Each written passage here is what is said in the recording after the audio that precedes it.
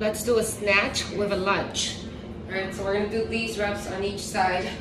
We're snatching and lunging for the same sides. I want you to have your feet shoulder width apart, your eyes on the floor, your core strong, your shoulders down and back, nice and activated. Pull the weight, keep the object close to your body, and you're gonna lead with the elbow out. Pull the weight above your head. We're maintaining that weight above our head as we step that same leg back. Keep your core nice and strong. The stronger the abs, the stronger the balance will be. And we stand back up to reset for your next rep.